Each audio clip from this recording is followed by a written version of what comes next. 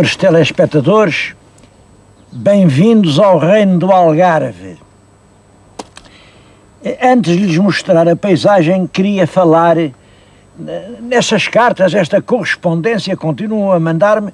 É claro, já tenho dito, não é materialmente possível responder, porque ou, ou faço o correio ou faço o programa, eu tenho que escolher. É claro, e tenho que fazer o programa. Mas há certos casos que são ou tão comoventes ou tão importantes que eu não posso deixar de lhes fazer uma referência. Imaginem que uma senhora eh, do Rio de Janeiro, a senhora Dona Maria Helena Pinto e Silva, manda-me um postal que recebeu dos avós ou bisavós, não sei já bem. O postal é este. Representa a inauguração dos carros elétricos na Ponte do Porto. Isto foi em 1906. Claro, o, selo é ainda do Rei Dom Carlos e é uma fotografia, para mim, eu não a conhecia. O primeiro elétrico que circulou no Porto. Isto é de uma senhora professora, a senhora Dona Maria Rita Pinheiro, que é mãe de duas professoras primárias. Ouviu um programa meu e programa que, que a emocionou e resolveu abordar aqui uma frase, uma frase que eu realmente disse nesse programa e de que estou profundamente convencido, que é o futuro das nações amassa-se nas escolas. Bom, mas comove, comove a gente ver que as palavras que diz não caem em cesto roto. E há uma senhora que dedica as suas horas a gravar aqui as palavras que a impressionaram, impressionaram-nas porque são verdadeiras, é assim mesmo. Infelizmente, nem toda a gente assim percebe.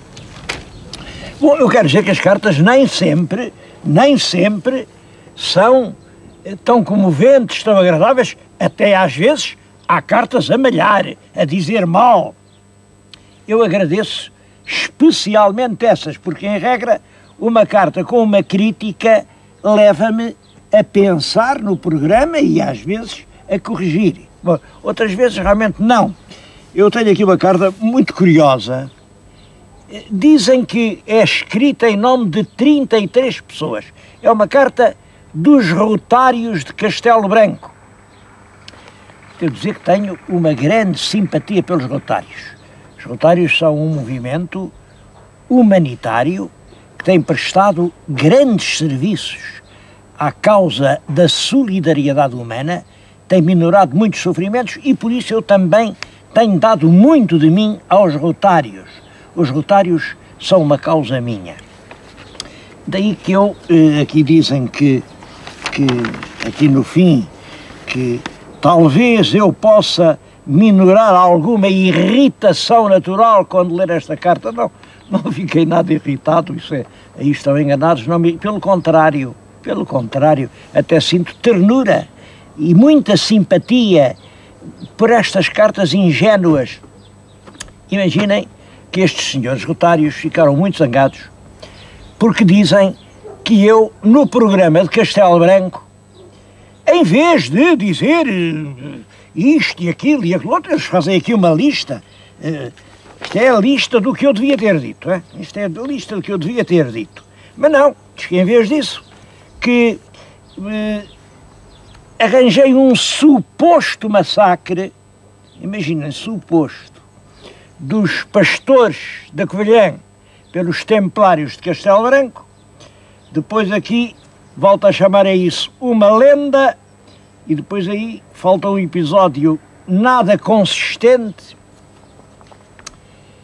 Em resumo, os rotários de Castelo Branco acham que esta história, este facto absolutamente documentado, rigoroso e exato, aqueles se atrevem a chamar lenda, o que representa que são muito ignorantezinhos, hein? muito ignorantezinhos. Não lhes fica bem, isso não lhes fica bem. É, este facto verdadeiro, acham eles, que é inconveniente. Que é inconveniente porque pode prejudicar as boas relações entre Castelo Branco e a Covilhã.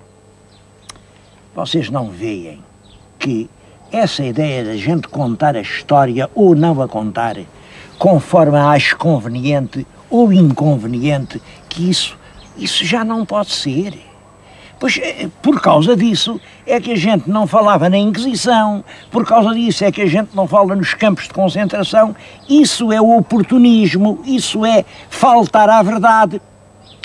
Eu sou advogado e creio que alguns dos, dos responsáveis por esta carta também o serão.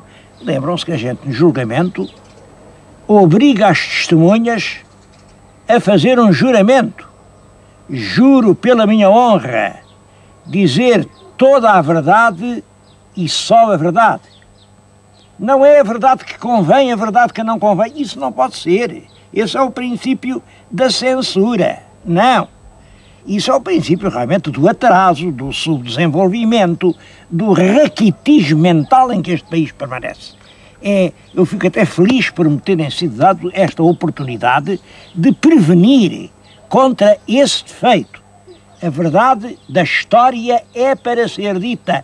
Doa a quem doer. Tem que se contar. E de resto, esta coisa de julgar que um episódio histórico da maior importância para a história social portuguesa, este facto é importantíssimo. Este conflito entre o povo dos, dos pastores da Serra de Estrela e os templários fixados juntos no Tejo, isto é um dos mais importantes factos da nossa história social medieval. E há alguém tão ingênuo que acredite que isto ainda vai influir nas relações das duas cidades. A gente da Covilhã é gente adulta e inteligente e a de Castelo Branco também. Bom, portanto, esta carta é uma carta infeliz, infeliz, que representa pouco discernimento qualquer maneira, muito obrigado por me terem dado o ensejo de prestar este esclarecimento. E ainda outra correspondência, é uma prenda, uma prenda quase real, que me mandaram agora em alturas de Páscoa, é um volume da leitura nova de Dom Manuel. Sabem que o rei Dom Manuel, quando sobe ao trono, foi encontrar os arquivos do reino já muito esfarrapados, muito rotos, muito sorrados, aquilo já não se podiam tirar certidões e mandou fazer uma cópia em belíssimas folhas de pergaminho, todas elas iluminadas com um luxo, uma riqueza de cor. Todas elas são, de facto, grandes obras-primas. São 61 volumes que estão na Torre do Tombo. Iniciou-se agora a publicação e eu penso que isto sim é um belo serviço prestado à cultura. É, além disso, a leitura nova tem hoje um valor documental enorme, porque há muitos, muitos, muitos documentos de que se perderam os originais e nós já só temos o que está na leitura nova. Está ordenado por reinados, está ordenado por assuntos e está ordenado, sobretudo, por regiões geográficas. É o Entre Minho, é o Douro, é as Beiras, é o Odiana, é a Extremadura. São os místicos, quer dizer, que são coisas que dizem respeito a várias regiões ao mesmo tempo. E é realmente um dos grandes tesouros da nossa Torre do Tombo. Bem haja o editor que vem pôr isto ao alcance do público. Agora, o que é curioso é que este livro que eu lhes estou a mostrar é um livro que tem os rostos dos forais manuelinos. Como sabem, o rei Dom Manuel fez a reforma dos forais, mandou passar foral novo em inúmeras terras e eu estou a falar-lhes aqui numa terra que não tem foral.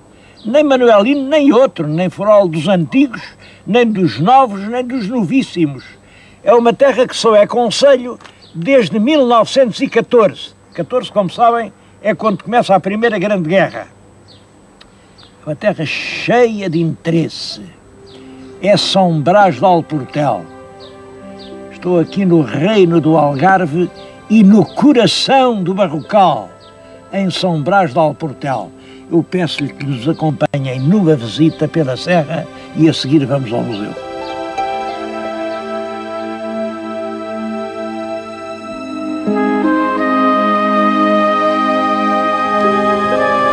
O povoamento humano é aqui muito antigo.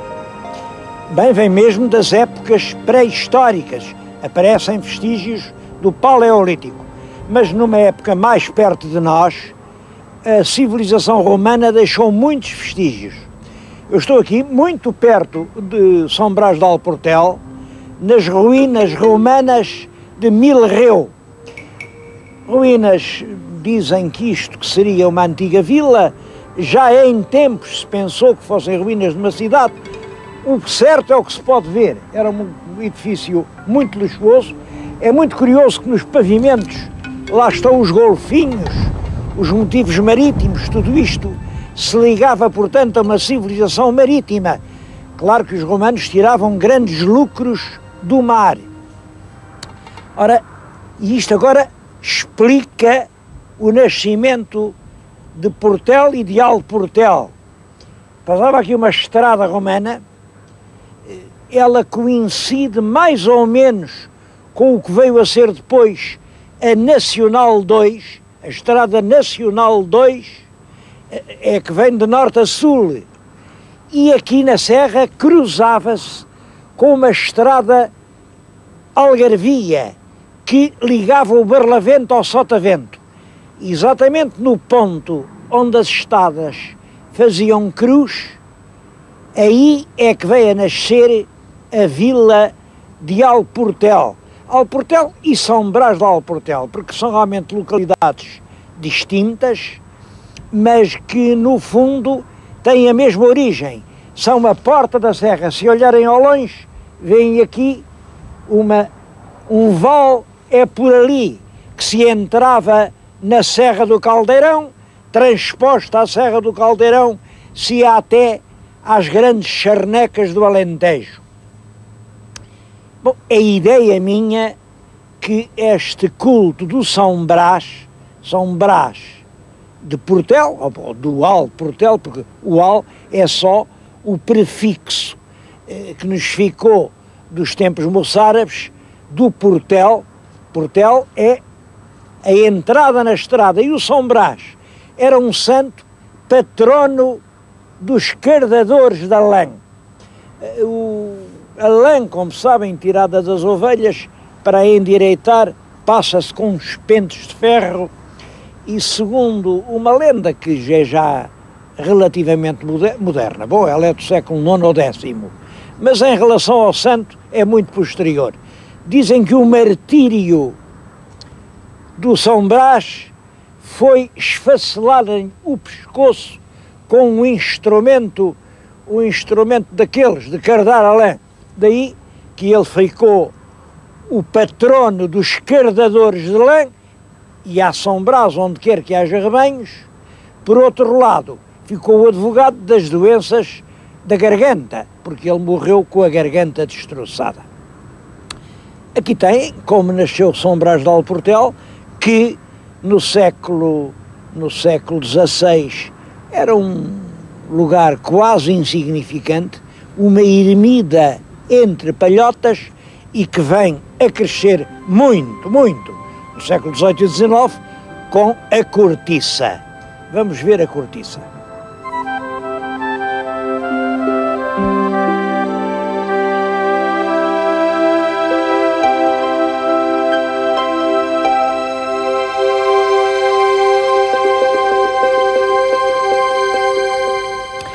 A história da cortiça é hoje contada aqui no Museu Etnográfico do Traje Algarvio.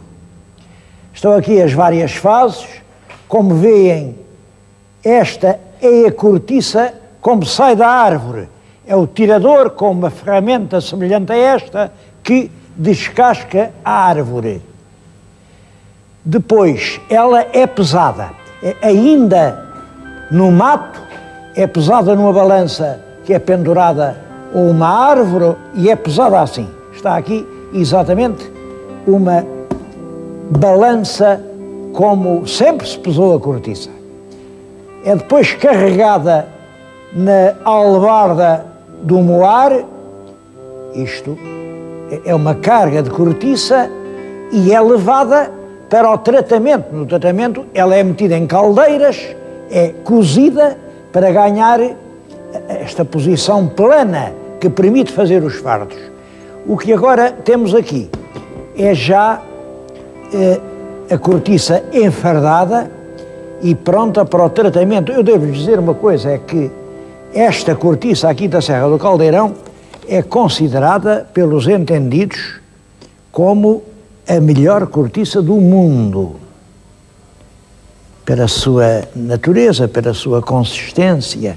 Bom, ela durante muito tempo serviu, eh, isto por exemplo, isto por exemplo, é o cocharro, como sabem em espanhol, cortiça é coxo, daí que isto é um cocharro.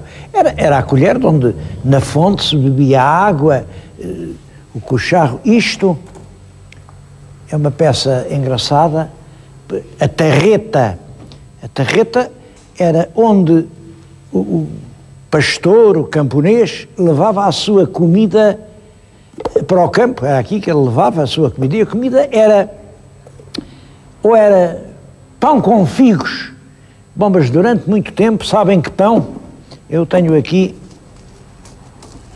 isto é o fruto da alfarroba, esta ainda está verde, fruto da alfarroba, e era isto, era isto que era moído e com esta farinha negra fazia-se o pão um pão que o diabo amassou.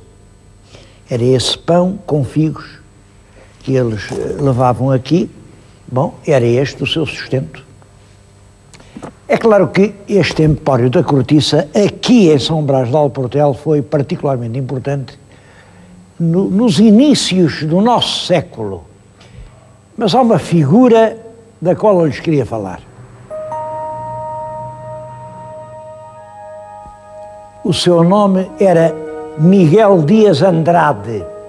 Ele nasceu muito pobrezinho, aí numa choupana, pouco mais, e olhem, começou a trabalhar desde muito pequenino, era carvoeiro, carvoeiro. Andava aí por essas serras, cortava os braços dos sobreiros e dos azinhos que já não prestavam, metia debaixo da terra e depois ia atrás de um burrito a vender carvão por essas aldeias. Foi assim que ele começou. É claro, do carvão passou à cortiça, eh, da cortiça começou a ir cada vez mais longe, a certa altura já ia à Espanha, era o grande corticeiro e, quando chega aos 50 anos, tem uma fortuna, é a primeira pessoa a fazer um palácio aqui em São Brás do Alportel, é, é, estou a falar nas cocheiras do palácio. E esse homem que começou a vida atrás de um burrinho acabou aqui em coches forrados de veludo, respeitado por toda a gente. Foi nesta casa que se instalou um. Depois um outro, um casado com uma neta dele, chegou a instalar um banco, um banco que associado a outras casas bancárias deu o Banco do Algarve. É claro, tudo isso depois com o tempo, porque o tempo é sempre mudança. Vem o pós-guerra, o pós-guerra é muito cruel, pós-primeira guerra, muito cruel para todo o Algarve, acabam as conservas, acaba a pesca do atum, a cortiça que servia para fazer rolhas, pois por essa Europa deixaram de comprar rolhas e há uma queda vertical. Hoje está outra vez a renascer a indústria corticeira.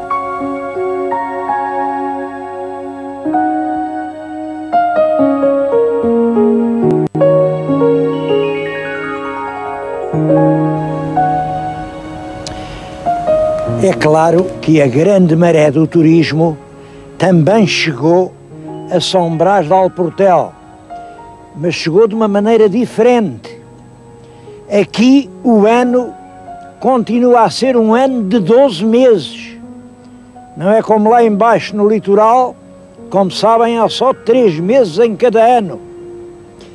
Aqui vem gente, estas casas que estão a ver na nossa frente, são moradias recuperadas, em grande, na sua grande maioria, recuperadas por estrangeiros, gente do norte da Europa, ingleses, holandeses, finlandeses, alemães, compram estas casas eh, antigas em ruínas e recuperam-nas.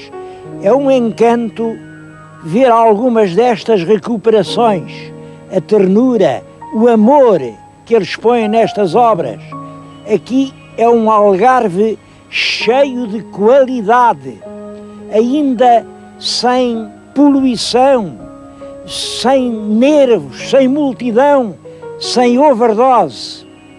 Eu penso que São Brás de Alportel é um exemplo de como o Algarve devia ser.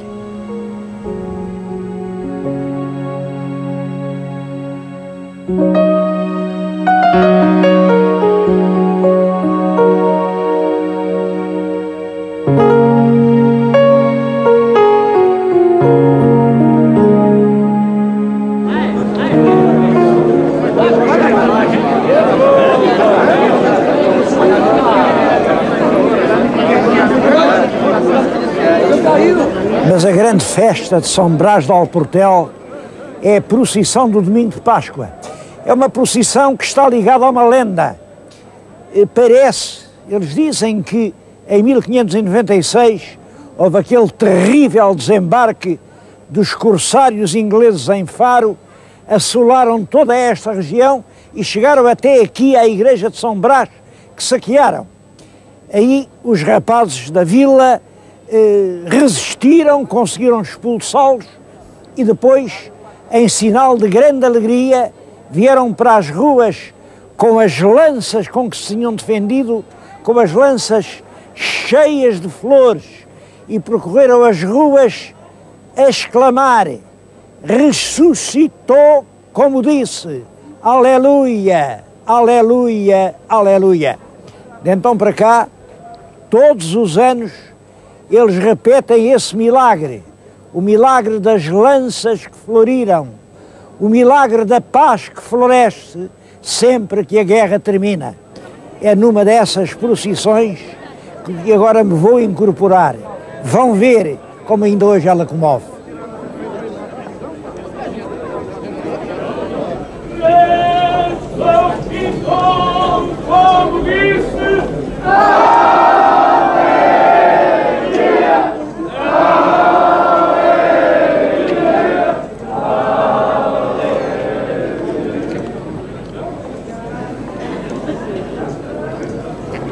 Os naturais de São Brás de Alportel ainda imigram muito.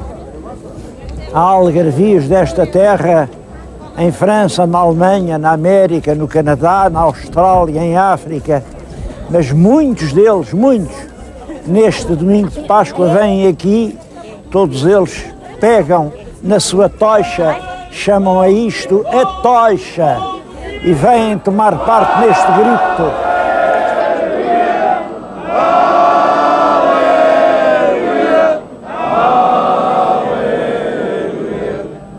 É realmente uma festa em que parece que é a própria terra que ressuscita. É uma festa meio religiosa, meio popular. É de facto uma festa de ressurreição e de abraço entre aqui os alportelenses de todo o mundo. Estão aqui, juntam-se hoje, amanhã vão-se embora, às vezes vêm e vão no próprio dia, mas é realmente a aleluia do Algarve é aqui em São Brás de Alportel. ressuscitou, como disse,